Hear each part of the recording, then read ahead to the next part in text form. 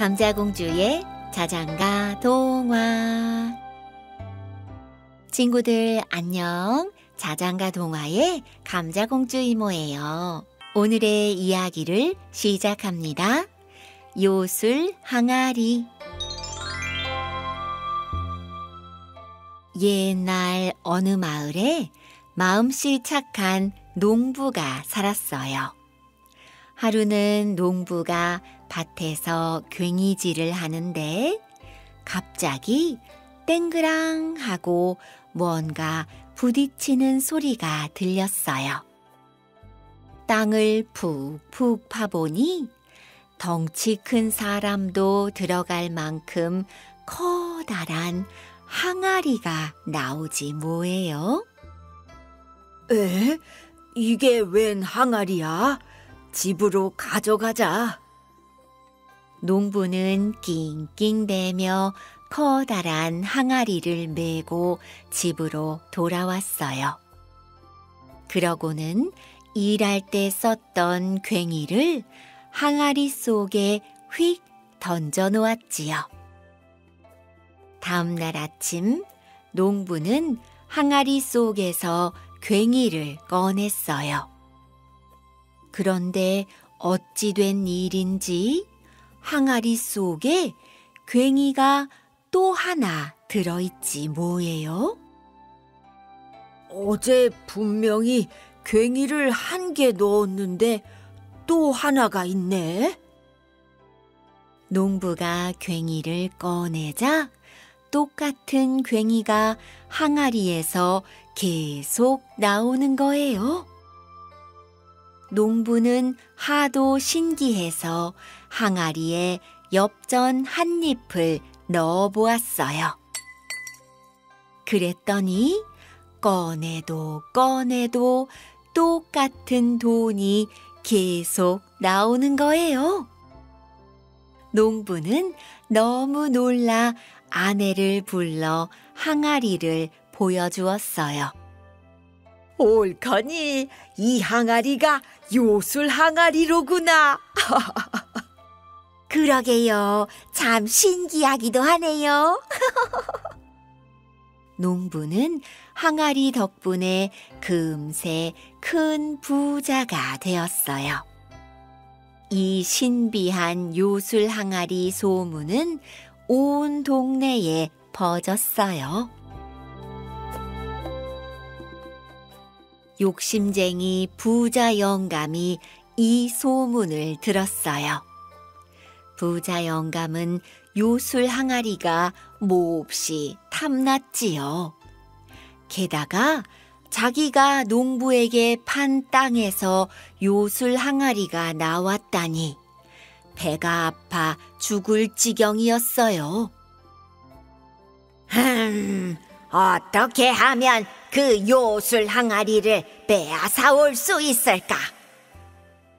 이리저리 궁리하던 부자 영감은 마침내 무릎을 탁 쳤어요. 그렇지, 좋은 수가 있구나. 부자 영감은 한달음에 농부를 찾아갔어요. 여보게, 그 요술 항아리는 어디서 나왔는가? 아, 그야 밭에서 괭이질을 하다가 파냈지요. 그래? 그럼 이제 그 항아리는 내 것이네. 부자 영감이 다짜 고짜 우기자 농부는 어리둥절했어요. 제 밭에서 파냈는데 어째서 영감님 항아리입니까?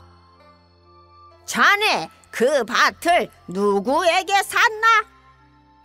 그야 오래전에 영감님께 샀지요. 허허 이 사람아 그때 나는 반만 팔았지 요술 항아리는 팔지 않았다네. 아니 그게 어째서 영감님 겁니까? 말도 안 돼요. 어서 내놓게나 내 항아리. 두 사람은 서로 자기의 항아리라며 옥신각신했어요. 그러다 결국 두 사람은 원님한테 가서 물어보기로 했어요. 너희들 이야기가 모두 그럴듯하구나. 일단 항아리를 가져와 보아라. 두 사람이 항아리를 가져오자 원님이 말했어요. 항아리를 한번 시험해 보아라. 농부가 항아리 속에 콩 하나를 넣었더니 콩이 촤르르르 나오고 부자 영감이 신발을 넣었더니 신발이 줄줄이 계속 나왔어요. 원님은 하도 신기해서 입이 다물어지지 않았지요. 원님은 요술 항아리가 탐이 났어요. 공평하게 항아리를 반으로 쪼개 나눠 가져라. 하지만 그리하면 항아리를 쓸 수 없으니 나라에 바쳐라. 농부와 부자 영감은 그냥 빈손으로 터덜터덜 돌아갔지요. 원님은 항아리를 자기 집 대청마루에 갖다 놓았어요. 그런데 원님에게는 80이 넘은 아버지가 있었어요. 마침 원님 아버지가 마루에 나왔다가 커다란 항아리를 보았지요. 웬 못 보던 항아리냐? 원님의 아버지는 항아리 속을 들여다보다가 그만 쏙 빠지고 말았어요. 아비야, 나 좀 꺼내다오.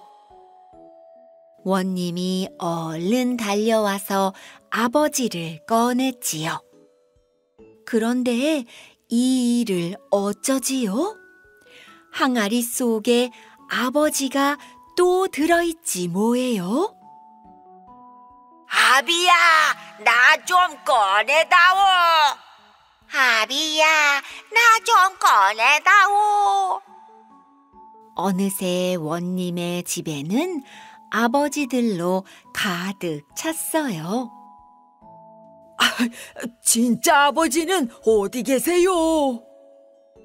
여기 있지, 어디 있느냐?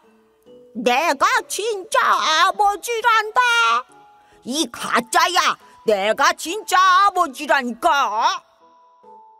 요술 항아리에서 나온 아버지들은 서로 자기가 진짜라고 싸우기 시작했어요. 치고 받고 엎치락 뒤치락 하다가 그만 항아리가 와장창창 깨지고 말았지요. 항아리는 깨지고 백명도 넘는 아버지는 온 집안에 가득하고 원님은 하도 기가 막혀 땅이 꺼지도록 한숨만 내쉬었답니다. 박박 바가지 옛날 옛날 깊은 산 속에 할아버지와 할머니가 살았어요. 어느 날 밤 할머니와 할아버지가 잠을 자는데 집에 도둑이 들었어요. 도둑은 훌쩍 담을 넘더니 살금살금 마루 위로 기어 올라왔어요.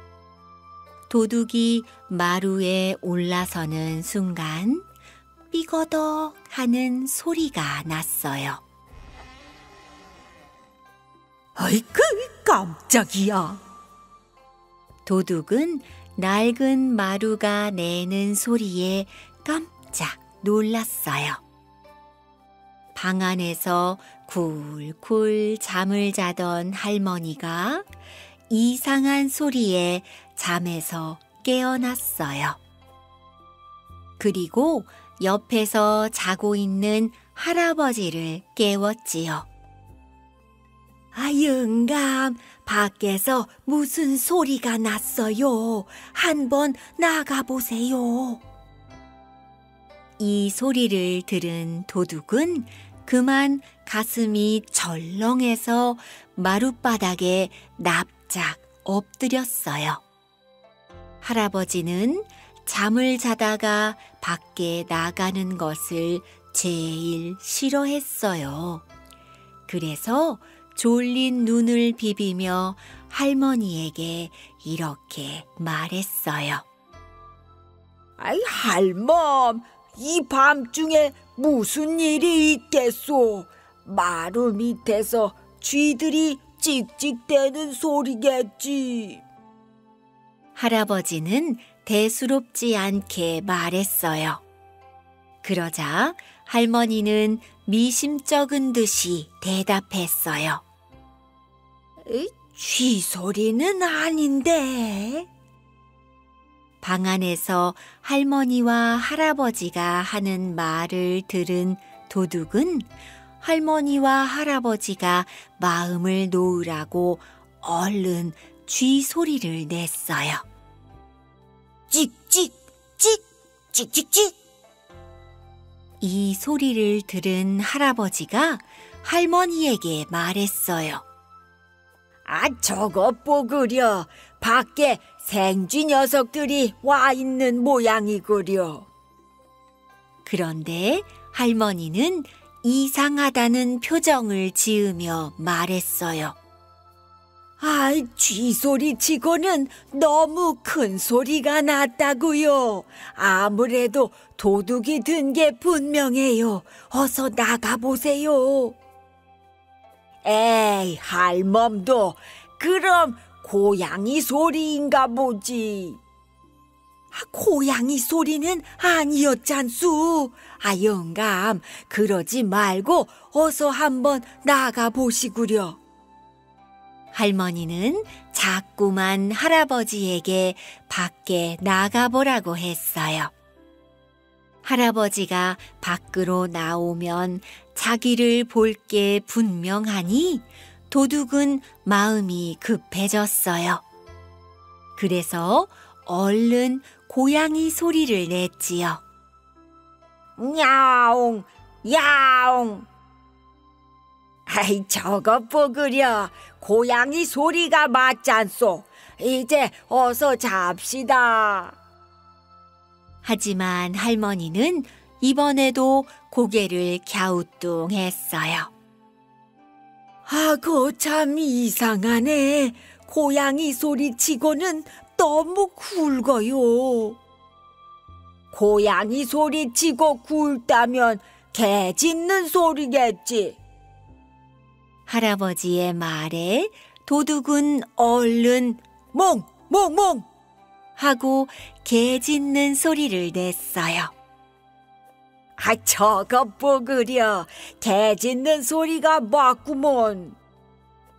아니, 영감. 내가 우리 집 개 짖는 소리도 모르겠어요. 아, 어서 나가보세요. 할머니는 밖에 도둑이 들었는지 누가 왔는지 궁금해서 견딜 수가 없었어요. 밖에 나가기 싫은 할아버지는 또 대충 둘러댔어요. 개 짖는 소리가 아니라면 송아지 소린게지. 할아버지의 말이 끝나자마자 도둑은 얼른 음메, 음메. 송아지 소리를 냈어요. 맞구먼, 맞아. 송아지 소리가 맞아. 아니에요. 내가 송아지 소리도 모르겠어요. 어허, 그럼 코끼리 소리인 게지. 할아버지의 말에 도둑은 순간 움찔해서 온몸이 얼어붙는 것 같았어요. 이번에는 코끼리 소리를 내야 할 텐데, 한 번도 코끼리 소리를 들어본 적이 없거든요. 당최 코끼리 울음소리가 뭐더라? 허허, 이거 참 큰일이군. 이러다 들키겠는걸. 에라이, 모르겠다. 도둑은 마음이 급한 나머지 얼른 코끼리 소리를 지어냈어요. 코끼리끼리, 코끼리끼리. 그러자 할아버지와 할머니는 깜짝 놀랐어요. 에고머니나, 아, 이게 무슨 소린고? 생전 처음 듣는 소리네. 아, 영감, 저 소리가 코끼리 소리유? 아, 글쎄, 나도 코끼리 소리를 들어본 적이 없어서. 뭐, 고하고 끼리끼리 하는 걸 보니 코끼리 소리가 맞나 보구려. 그러자 할머니가 벌떡 일어나 앉으며 할아버지에게 핀잔을 주었어요. 아이 영감, 우리 동네에 무슨 코끼리가 있어요. 그러지 말고 어서 좀 나가 보시구려. 할머니의 등살에 할아버지는 주섬주섬 자리에서 일어났어요. 아이고 할멈, 귀찮아 죽겠구먼. 할아버지는 천천히 자리에서 일어나 방문을 열고 마루로 나갔어요. 순간 도둑은 깜짝 놀라 얼른 부엌으로 몸을 피했어요. 그런데 부엌에 들어가 보니 마땅히 숨을 데가 없었어요. 아이고 큰일 났다. 숨을 데가 없네. 이를 어쩐담? 우왕좌왕하던 도둑은 부엌 구석에 커다란 물 항아리가 있는 것을 보았어요. 그래, 저 항아리에라도 들어가 숨어야겠다. 에잇! 도둑은 급해서 차가운 물이 가득 들어있는 항아리에 들어가 쭈그려 앉았어요. 아유, 차가워라. 그래도 들키지만 않으면 됐어. 어라, 그런데 얼굴을 물 속에 넣을 수 없으니 이를 어쩐다? 눈을 멀뚱멀뚱 뜨고 고민을 하는 순간 부뚜막 옆에 놓여 있는 바가지가 눈에 띄었어요. 그렇지, 바로 저거야. 도둑은 바가지를 집어 얼른 머리에 뒤집어 썼어요. 한편 마루로 나온 할아버지는 어두컴컴한 마당을 구석구석 둘러보았어요. 아무것도 눈에 띄는 것이 없었어요. 그래서 이번에는 부엌으로 들어갔어요. 역시 별다른 것이 보이지 않았어요. 다만 구석에 놓여 있는 커다란 물 항아리에 둥근 바가지가 엎어져 있었지요. 할아버지는 바가지를 톡톡 두드리며 말했어요. 이건 뭘까? 바가지 같기도 하고 아닌 것 같기도 하고. 그러자 도둑은 가슴이 철렁해서 얼른 이렇게 말을 했어요. 박박 바가지 박박 바가지 그러자 할아버지는 고개를 끄덕이며 말했어요. 에, 바가지가 맞구먼. 아, 할아버지는 길게 하품을 하더니 방으로 들어갔대요.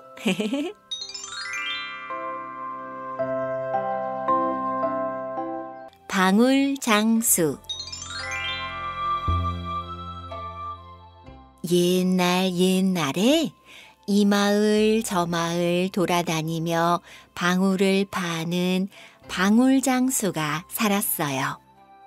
이 방울장수는 아주 재치 있는 사람이었지요.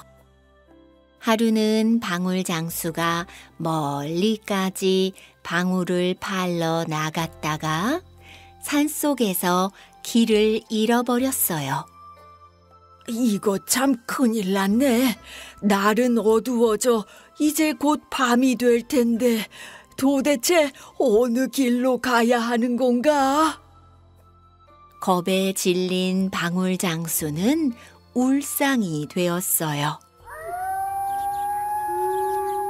아유, 무서워. 사나운 산짐승이라도 만나면 어쩐담? 방울장수는 두려운 마음을 꾹 참고 어디 숨을 곳이 없나 찾아보았어요. 한참을 헤매던 방울장수는 멀리 산모퉁이에서 작은 불빛이 반짝이는 것을 보았어요. 다 쓰러져 가는 낡은 초가집이었지요. 이젠 살았다. 방울장수는 기뻐서 한달음에 초가집으로 달려갔어요. 계십니까? 지나가는 나그네입니다. 길을 잃어서 그러니 하룻밤만 재워주십시오. 방울장수가 대문을 두드리자 덜커덕 방문이 열리더니 머리가 하얀 할머니가 나왔어요. 저런 젊은 양반이 이 밤중에 길을 잃었다고요. 오늘 밤은 우리 집에서 자고 내일 아침에 떠나시구랴. 감사합니다, 할머니. 할머니는 방울 장수를 하룻밤 자고 가게 해 주었어요. 게다가 할머니는 맛있는 저녁밥까지 항상 차려주었어요. 할머니, 잘 먹겠습니다. 정말 고맙습니다. 배가 고팠던 방울장수는 마파람에 개눈 감추듯이 저녁을 맛있게 먹었어요. 배불리 밥을 먹고 난 방울장수는 졸음이 쏟아졌지요. 맛있게 드셨구랴. 피곤할 텐데 어서 어서 주무세요. 그런데 방울장수는 밥상을 들고 나가는 할머니의 뒷모습을 보고 깜짝 놀랐어요. 할머니의 치맛자락 사이로 기다란 호랑이 꼬리가 보이는 것이 아니겠어요? 저것은 호랑이의 꼬리가 아니야. 그렇다면 할머니로 둔갑한 호랑이로구나. 이 일을 어쩌면 좋아? 방울장수는 너무 놀라 그만 방울이 담긴 보따리를 엎질렀어요. 그러자 방바닥에 방울이 요란한 소리를 내며 흩어졌어요.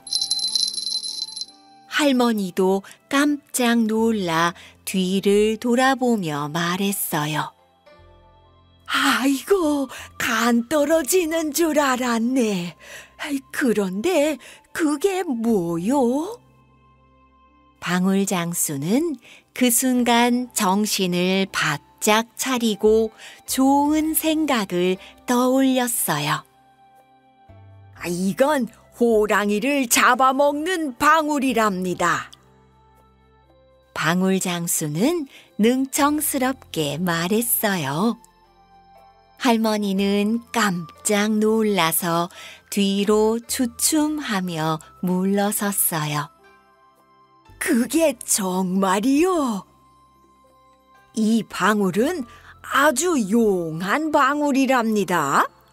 호랑이를 보기만 하면 달려들어 꼬리를 꽉 물고 끝까지 따라가 결국은 그 호랑이를 잡아먹어 버리지요. 할머니는 방울장수의 말이 끝나기가 무섭게 황급히 방을 나가버렸어요. 할머니가 겁을 먹은 게 틀림없어.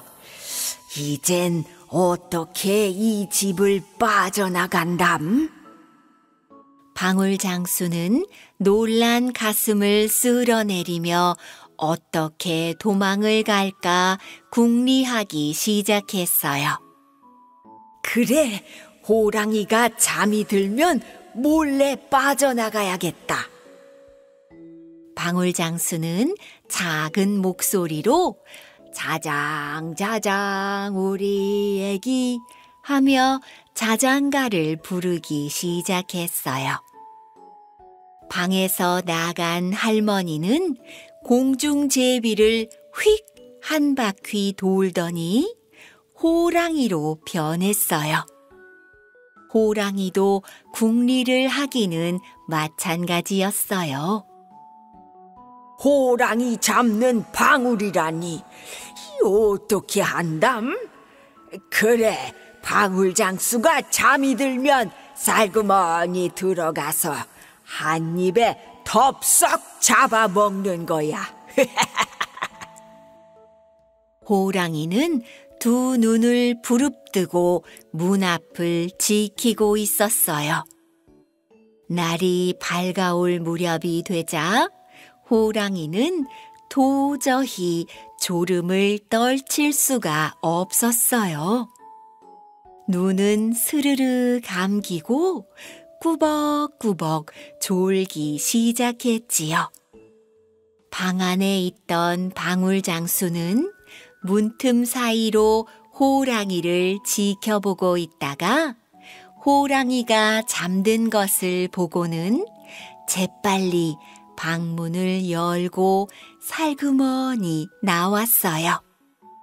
그리고 자고 있는 호랑이 꼬리에 조심조심 방울을 동여맸어요. 깊은 잠을 자던 호랑이는 그것도 모르고 쿨쿨 잠을 잤어요. 방울 장수는 까치발을 하고 살금살금 집을 빠져나와 멀리 도망쳤어요. 방울장수가 도망간 것도 모르고 잠을 자던 호랑이가 잠결에 꼬리를 휙 움직였어요. 그러자 방울 소리가 딸랑딸랑 울렸어요. 아이쿠, 호랑이 잡아먹는 방울이구나. 날 잡아먹으려고 하네. 호랑이는 겁에 질려서 벌벌 떨다가 집을 뛰쳐나와 달리기 시작했어요. 하지만 호랑이가 달리면 달릴수록 방울은 더 크게 딸랑거렸지요. 꼬리에 방울을 매달고 달리던 호랑이는 점점 지쳐서 기진맥진했지요. 방울장수는 재치 있는 꾀로 무사히 집으로 돌아갈 수 있었대요. 기름장수와 호랑이 아주 아주 먼 옛날 호랑이 담배 피우던 시절의 이야기야. 깊은 산 속에 커다란 호랑이가 한 마리 살았대. 어찌나 크고 힘이 센지 호랑이가 어흥 하면 산 속의 짐승들이 무서워서 도망가기 바쁘고 함 하는 하품 소리에 지나가던 새들도 푸드덕 놀라 달아났지. 그런데 소금 장수 하나가 커다란 가마니를 어깨에 메고 이 마을 저 마을로 소금을 팔러 다녔어. 소금 사료, 소금 사료, 짭짤하니 맛난 소금 사료. 갈 길은 아직 멀었는데 해가 뉘엿뉘엿 지고 있으니 소금 장수는 걱정이 되었어. 그런데 저 앞에 커다란 동굴이 하나 보이네. 옳지, 잘 됐다. 오늘은 저 동굴에서 하룻밤 묵고 내일 아침 일찍 길을 떠나야겠구먼. 소금 장수는 동굴로 성큼성큼 걸어 들어갔는데 동굴이 점점 더 커지더니 물컹 하는 바닥으로 대굴대굴 굴러 떨어졌어. 호랑이가 소금 장수를 꿀꺽 삼킨 거야. 아이고, 아, 여기가 어디래? 컴컴하고 축축한 곳이 아, 무슨 동물 뱃속 같구먼. 호랑이가 기분이 좋아서 흥얼흥얼 하더니 배가 아직 덜 찼는지 아까 그 고갯길에 커다란 입을 떡 벌리고 또 앉았네. 이번에는 기름장수가 큰 단지를 짊어지고 고갯길을 걸어가고 있었어. 기름 사료, 기름 사료, 선비 양반 등잔불 환히 밝혀라. 기름 사료. 기름 장수도 길을 걷다가 또 동굴인 줄 알고 호랑이 입속으로 쑥 들어갔어. 굴떡 하고 호랑이가 기름장수도 삼켜버렸어. 대굴대굴 대구르르 기름장수도 호랑이 뱃속으로 굴러 떨어졌지. 워메 워메 아 여기가 어디단가 살다 살다 별 이상한 데를 다 와본단께 기름장수는 등잔에 불을 밝혀 주위를 살펴보았어. 그러자 저만 치서 소금장수가 걸어오네. 아이고 그 누구단가 난 소금장수여유. 만나서 반갑구먼유. 몸에 이런 데서 사람을 만나니 나도 반갑단께 난 기름장수지라 근데 우리가 지금 호랭이 뱃속에 있는 거 맞지요? 어떻게 나갈까요? 소금 장수와 기름 장수는 서로 반가워하며 나갈 방법을 궁리하기 시작했어.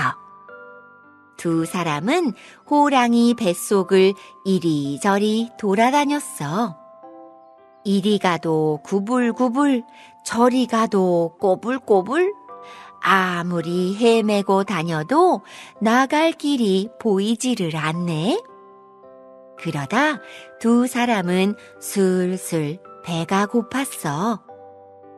아이고, 배가 고파 죽겠구먼요. 금강산도 식구경이라는데 뭐 좀 먹고 나서 나갈까요? 소금 장수는 작은 칼을 꺼내어 호랑이 뱃속 고기를 뚝 떼어내지 뭐야? 그러더니 소금을 솔솔 뿌려서 맛있게 간을 했지. 그랬더니 호랑이는 배가 아파서 이리 뛰고 저리 뛰고 올라갔다 내려갔다 대굴대굴 구르기 시작했어. 아이고, 배야. 호랑이 살려. 오흥. 소금 장수와 기름 장수는 호랑이 뱃속에서 벌러덩 넘어지더니 이리 뒹굴 저리 뒹굴 구르며 난리도 아니야. 그러다가 기름 장수에 뜨거운 기름이 엎어지는 바람에 호랑이는 더 깜짝 놀랐지. 아이고 뜨거 아이고 뜨거 뜨거 뜨거 아이고 뱃속이 뭐 이래 호랑이 살려 호랑이 살려 어후 호랑이는 앞으로 푹 고꾸라지면서 부지직 하고 똥을 쌌지. 그때 똥이랑 같이 소금 장수와 기름 장수도 슝 하고 밖으로 나왔어. 두 사람은 서로를 쳐다보며 껄껄 웃었어. 우메 호랑이 뱃속 구경 한번 잘했다. 그러게 말이여유. 두 사람은 무사히 밖으로 나와서 호랑이 가죽을 가지고 마을로 갔어. 임금님이 이 소식을 듣고 두 사람을 칭찬했지. 허허허허 이 마을의 골칫거리였던 큰 호랑이를 잡아왔으니 두 사람에게 큰 상을 내리노라. 참, 별일도 다 있지 뭐야?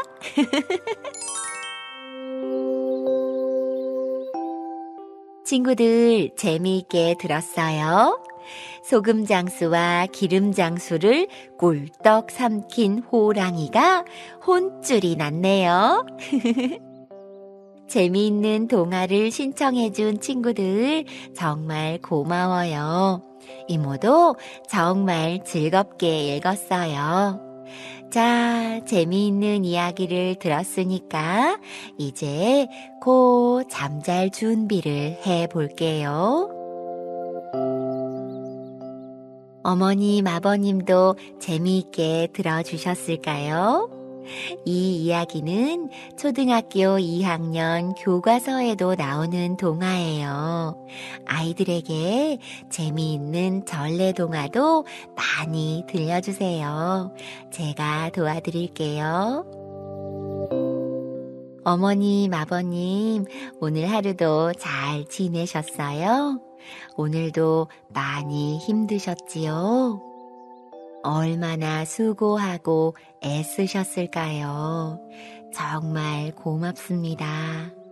오늘도 귀한 손으로 만들어주신 음식을 먹고 우리 아이들과 가족들이 건강하게 지낼 수 있었어요. 오늘도 귀한 발로 이리저리 뛰어다니며 수고하신 덕분에 우리 가족이 편안하게 잠자리에 들 수 있었어요. 평범하고 똑같은 일상이 감사해지는 밤입니다. 아이를 키우다 보면 가끔 아이한테 참 미안한 순간이 있어요. 한 번만 내가 더 참았으면 좋았을 걸 아이에게 버럭 화를 내고 아이를 나무랐던 일도 생각나고요. 더 세심히 보살펴줘야 했는데 하며 미안한 마음이 밀려왔던 경험 있으시지요? 아무리 정성을 다해서 키운다고 키워도 돌아서면 미안하고 안쓰러워지는 것이 엄마 아빠의 마음이에요. 어머님, 아버님, 너무 안타까워 하지 마시고 힘내세요. 최선을 다하고 계시다면 그걸로 좋게요. 엄마 아빠도 사람인데 완벽할 수는 없잖아요. 우리 엄마 아빠가 건강하고 행복해야 우리 아이들에게 더 잘해줄 수 있어요. 내일은 더 맛있게 식사하시고 기운 내세요. 밤이 깊었어요. 오늘 밤도 따뜻하게 이불 잘 덮으시고 아가들과 함께 편안한 단잠 주무세요. 축복합니다. 안녕히 주무세요. 어머님, 아버님, 오늘도 잘 지내셨어요? 어떻게 지내셨어요? 많이 힘드셨지요? 정말 감사합니다. 우리 엄마 아빠의 헌신과 사랑을 어디에다 비교하겠어요? 자녀들을 위해 수고하시고 가족을 위해 고생하신 엄마 아빠 정말 대단하세요. 피곤하실 텐데 편안하게 푹 주무세요. 구독하기와 좋아요 해주시면 저에게 큰 힘이 됩니다. 고맙습니다. 안녕히 주무세요. 어머님, 아버님, 오늘도 잘 지내셨어요? 고생 많으셨지요? 오늘도 엄마 아빠의 귀한 수고와 희생에 박수를 보내드립니다. 정말 수고 많으셨어요. 편안하고 따뜻한 밤 보내세요. 괜찮으시면 구독하기도 꼭 부탁드려요. 고맙습니다. 안녕히 주무세요. 우리 친구들, 이제 진짜 잠잘 시간이에요. 따뜻하게 이불 잘 덮고 코 잘 자고 이모는 내일 또 만나요. 이모가 많이 많이 사랑해요. 안녕.